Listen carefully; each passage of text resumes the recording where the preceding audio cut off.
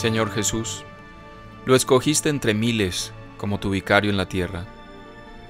Has dispuesto en tu infinita sabiduría que Francisco venga a nuestra amada Colombia.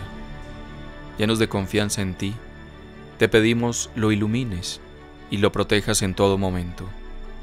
Permite que su primer paso se multiplique por miles para que todos caminemos a tu encuentro.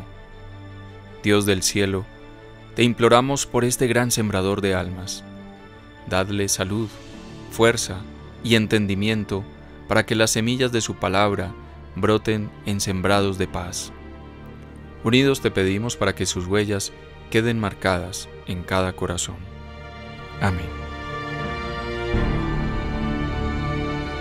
Recen por mí.